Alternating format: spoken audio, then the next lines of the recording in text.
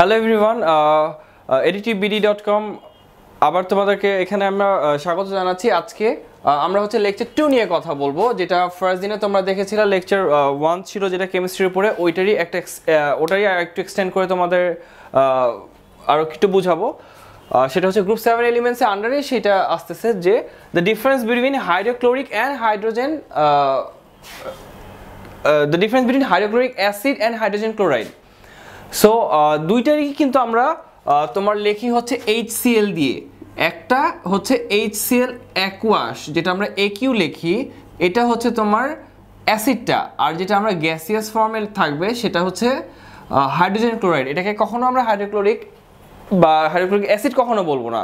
মানে হাইড্রোক্লোরিক শব্দটা আমরা ইউজ করি শুধুমাত্র অ্যাসিডের ক্ষেত্রে, আর হাইড্রোজেন ক্লোরাইড হবে হচ্ছে গ্যাসিয়াস ফর্মের ক্ষেত্রে।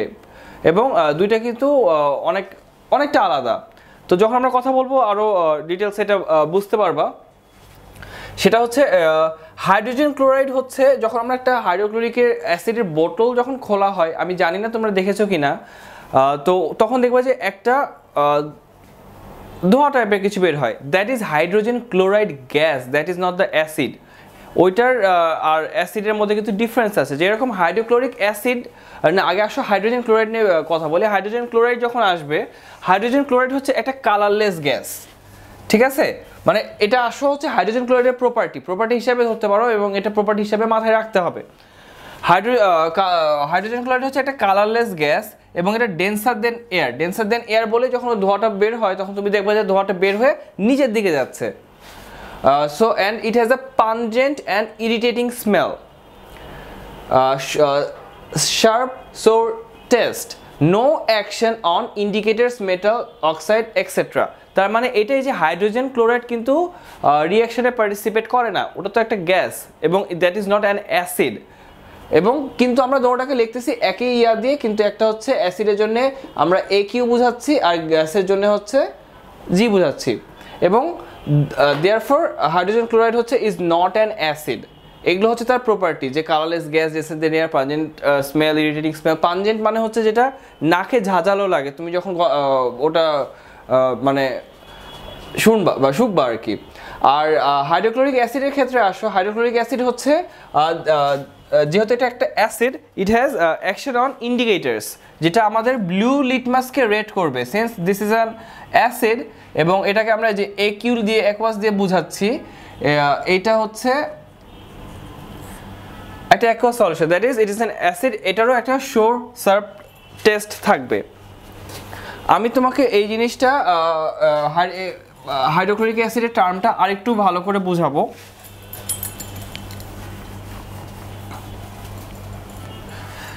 সেটা হচ্ছে কিছু রিয়াকশন দিয়ে বোঝাবো। এই রিয়াকশনগুলো ইম্পর্ট্যান্ট যেগুলো তোমার হাইড্রোজেন হাইড্রো হাইড্রোজেন ক্লোরাইড আর হাইড্রোক্লোরিকের মধ্যে আরও অনেক সুন্দর ক্লিয়ার করবে তোমার আইডিয়াটা যেরকম এটা যখন একটা হাইড্রোজেন ক্লোরাইড যখন একটা রিয়াকশন করে একটা মেটালের সাথে, ধরো আমি এখানে জিঙ্ক নিয়ে কথা বলি বা আয়রন নিয়েও বলতে পারতাম, একই। মানে জাস্ট বোঝাচ্ছে যে একটা মেটালের সাথে যখন রিয়াকশন করছে it gives out hydrogen gas যেরকম এই জিঙ্ক প্লাস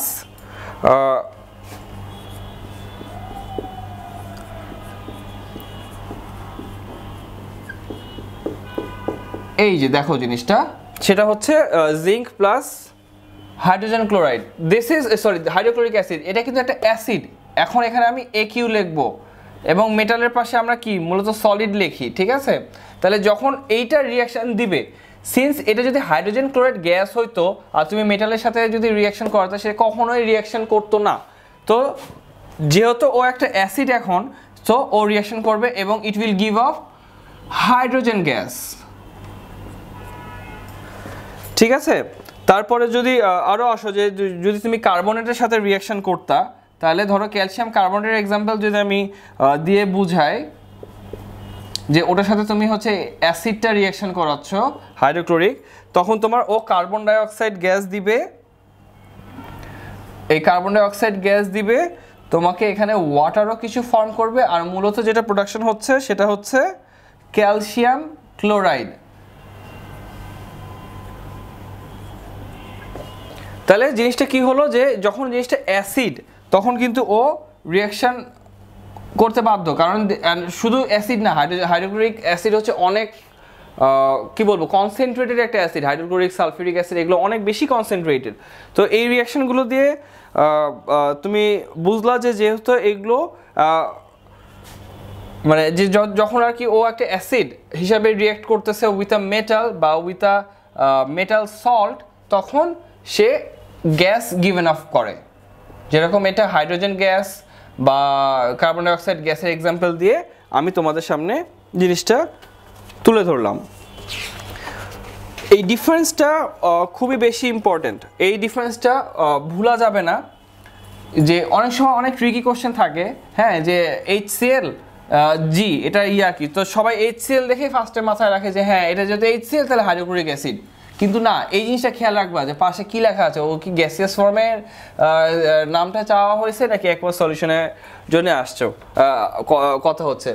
এবার আসো ক্লোরিন নিয়ে হচ্ছে আমরা ল্যাবরেটরি প্রিপারেশন দেখব। ক্লোরিনের ল্যাবরেটরি প্রিপারেশন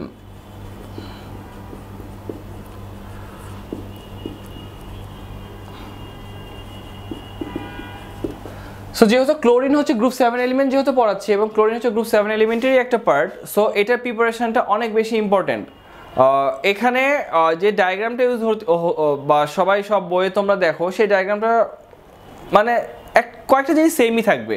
যে যা ইউজ হচ্ছে, যা ইনগ্রেডিয়েন্ট ইউজ করে ক্লোরিন গ্যাস ল্যাবরেটরি প্রিপারেশনের মাধ্যমে প্রোডাকশন হয়, সেটার জিনিসগুলো সেম কিন্তু এখানে যে জিনিসগুলো তোমাকে মাথায় রাখতে হবে যে আমি এখানে ডায়াগ্রামটা ইয়া করলাম না আঁকলাম না, কারণ ডায়াগ্রামটা যদি সুন্দর করে আঁকতে যাই it will need more time তো আমি এখানে তোমাকে বক্স করে বোঝাচ্ছি।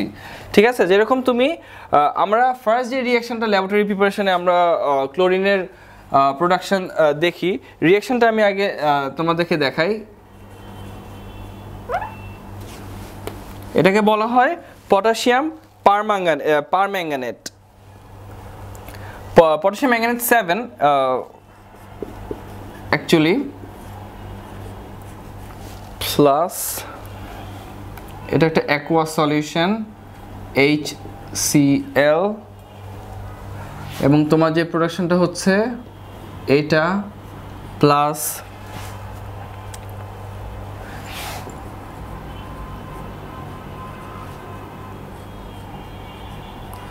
তাহলে পটাশিয়াম ম্যাঙ্গানেট সেভেন এটার নাম এই সিম্বলে যেটা লেখা আছে, পটাশিয়াম ম্যাঙ্গানেট সেভেন রিয়াকশন করা হয় হচ্ছে এইচ এর সাথে দ্যাট ইজ দ্য অ্যাসিড এবং ও হচ্ছে তোমাকে যে প্রোডাকশন যেটা প্রডিউস করতেছে সেটা হচ্ছে hydrochloric sorry potassium chloride manganese chloride water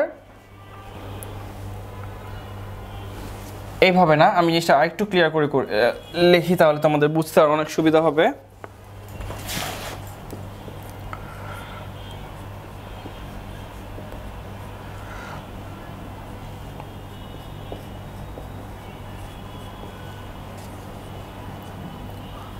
দেখো, এটা হচ্ছে পটাশিয়াম ম্যাঙ্গানেট সেভেনের সাথে আমি হাইড্রোক্লোরিক অ্যাসিডের রিয়াকশন দিচ্ছি এবং যা প্রোডাকশন হচ্ছে হচ্ছে বাট মূল যে জিনিসটা তুমি পাচ্ছ সেটা হচ্ছে ক্লোরিন গ্যাস এবং এই যে ল্যাবরেটরি প্রিপারেশন অফ ক্লোরিন এটা এই স্টেপটাই ফলো করা হয় for the production of chlorine তুমি বই যেগুলো দেখবা, সেটা এই রিয়াকশনটার কথাই বলছে। And there is some particular reason for this তো যাই হোক আমি এখন তোমাকে বক্স আকারে জিনিসটা বুঝাবো যে, আমি ডায়াগ্রামটা আঁকতেছি না যে, বা ফানেল টানেল ওগুলো আমি আঁকতেছি না। আমি জিনিসটা ক্লিয়ার করার চেষ্টা করতেছি যে প্রোডাকশানের পরে ক্লোরিনটা কি করে তুমি প্রকিউর হচ্ছে। এবং এখানে যে অ্যাসিডটা ইউজ করতেছিলাম আমরা, সেটা কিন্তু একটা কনসেন্ট্রেটেড অ্যাসিড ইউজ করা হয়। এই অ্যাসিডটার প্রথমে হচ্ছে যে রিয়াকশনটা তুমি করতেছো, সেটা কিসের ছিল? Potassium manganate.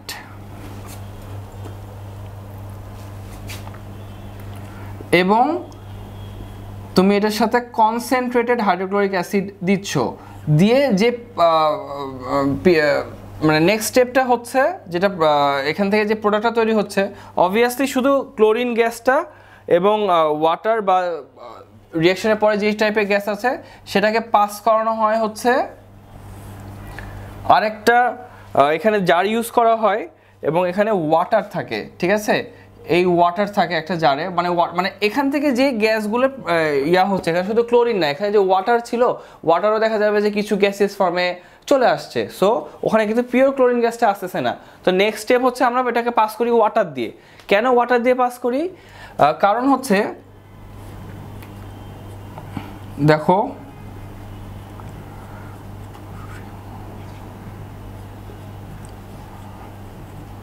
কি লিখলাম দেখো।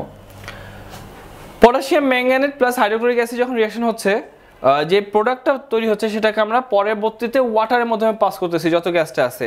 ওয়াটার মধ্যে পাস করার মূল রিজন হচ্ছে যখন তুমি কনসেন্ট্রেটেড অ্যাসিড দিচ্ছ, তখন কিন্তু কনসেন্ট্রেটেড অ্যাসিডের উপরে মানে যখন পড়তেছে তোমার ইয়াটাতে বিকারে, তখন কিন্তু ও সাথে আরও কিছু ধোঁয়া বের হচ্ছে, কারণ ওটা হচ্ছে হাইড্রোজেন ক্লোরাইড একটা হাইড্রোক্লোরিক অ্যাসিডের মুখ খুলে যে ধোঁয়াটা বের হয়, ওটাকে আমরা হাইড্রোজেন ক্লোরাইড বলতেছি। ওটা কিন্তু একটা অ্যাসিড না। বাট ওইটা কিন্তু তোমার ক্লোরিনের সাথে কিছু হয়তো বা চলে গেছে, আমরা ধরে নিচ্ছি।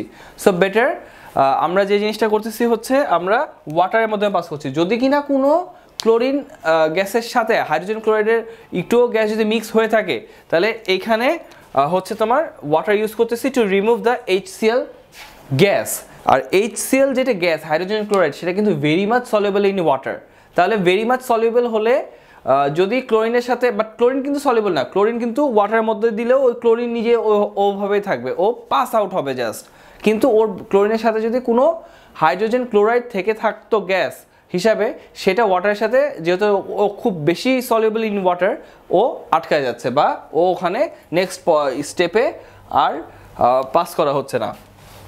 এরপরে আমরা যেটা দেখি যে এখানে আমরা সালফিউরিক অ্যাসিড ইউজ করি, ঠিক আছে?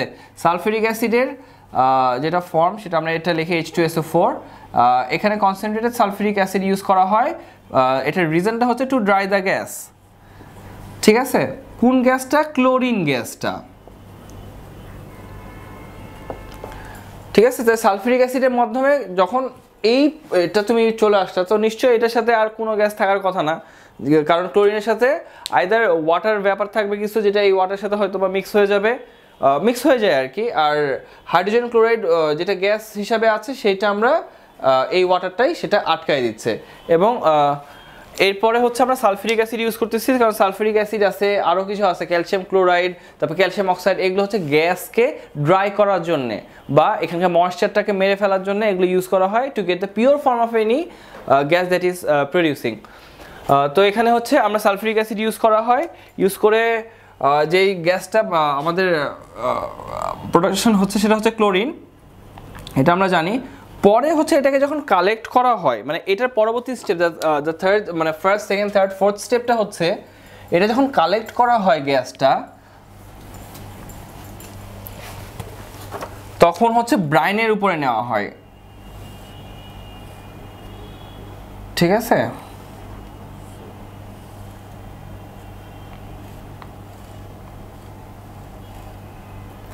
ব্রাইন হচ্ছে কি? এবং এই যে পাইপটা দিয়ে এরকম করে ব্রাইনের উপরে হচ্ছে তোমার ক্লোরিন গ্যাসটা কালেক্ট করা হয়। এই যেখানে তোমার ক্লোরিন গ্যাসটা থাকবে, ঠিক আছে? এবং এই কালারটা কি ছিল? গ্রিনিশ তো এখানে তুমি গ্রিনিশ কালারটাই দেখবা। আর ব্রাইন হচ্ছে র ফর্ম অফ সোডিয়াম ক্লোরাইড। ঠিক আছে? এটা মানে এটা একটা ওয়ে বলতে পারো যে লাস্ট কালেকশনের মেথডটা আমরা পাস করি হচ্ছে ব্রাইন দিয়ে to get the purest form of chlorine মানে যতটুকু সম্ভব হয়। এবং এটা এখান থেকে কালেক্ট করা হচ্ছে। এবার আসো যে টেস্ট ফর ক্লোরিন এখন ক্লোরিন গ্যাসের ল্যাবরেটরি প্রিপারেশন তো দেখলা যে আমরা, আমি ল্যাবরেটরি প্রিপারেশনে খুব একটা বেশি ডিটেইলে না বোঝালেও তুমি জিনিসটা বই যখন দেখবা তখন আর একটু ক্লিয়ার হয়ে যাবা যে এই যে চারটা স্টেপ এটা আসলে চারটা ডায়াগ্রাম দিয়ে বোঝানো হয় বাট আমি ডায়াগ্রামের থেকে মেইনলি ফোকাস করার চেষ্টা করছি যে ওই বক্সগুলোতে কি কি আমার ইউজ হচ্ছে। মানে কি কি কাজ হচ্ছে, দিয়ে আমরা যেভাবে পাচ্ছি। কখনোই অত বড় রিয়াকশন কখনো ও লেভেলসে চাওয়া হয় না বাট এটাই। আর এরপরে আসো যে chlorine gas test for chlorine এটা খুবই ইম্পর্টেন্ট খুবই ইম্পর্টেন্ট হচ্ছে কিছু এলিমেন্টের টেস্ট যেটা তোমার দুই, তিনটা আসবেই। ও লেভেলস বা লেভেলসের কোশ্চেন পেপার যখন দেখবা ও লেভেলসের কোশ্চেন পেপার মেনলি যখন দেখবা, তখন টেস্ট ফর ক্লোরিন এই জিনিসটা খুবই ইম্পর্টেন্ট এবং এইটাই এই পয়েন্টের লাস্ট পয়েন্টে আমি আসতেছি। তারপর দেখো যে টেস্ট ফর ক্লোরিন যে chlorine is a greenish yellow gas ফার্স্টে কি ছিল? আমরা টেস্টটা পয়েন্টে বুঝাই, যেটা তুমি ডেসক্রিপটিভ ওয়েতে লিখবা। Chlorine is a greenish yellow gas তারপরে it bleaches damp litmus paper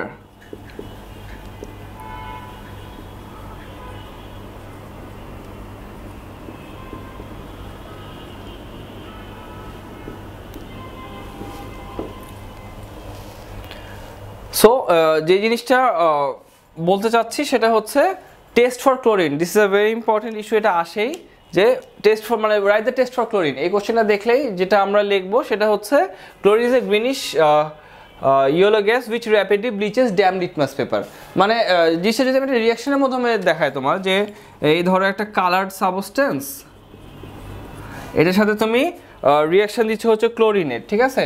তাহলে এটা হচ্ছে একটা কালারলেস কালার কালারলেস সলিউশন দিবে তোমাকে। তার মানে এই যে মানে মূলত টেস্টের পিছনে ক্লোরিনের টেস্টের পিছনে মূল অন্য কোনো টেস্ট আমার দেখা লাগবে না, কারণ সিলেবাসে শুধু ক্লোরিন টেস্ট টাইম এই গ্রুপ সেভেন এলিমেন্টের সবচেয়ে ইম্পর্টেন্ট যে chlorine is a greenish yellow gas which bleaches the damp litmus paper তো এই ছিল মূলত আমার লেকচার টু এর content now will move to lecture three আমাদেরকে সাবস্ক্রাইব করার জন্য লেকচার থ্রি দেখার জন্য সাবস্ক্রাইব করে রাখো। পরবর্তী ভিডিও আপলোড হলে তোমরা দেখতে পারবা। Thank you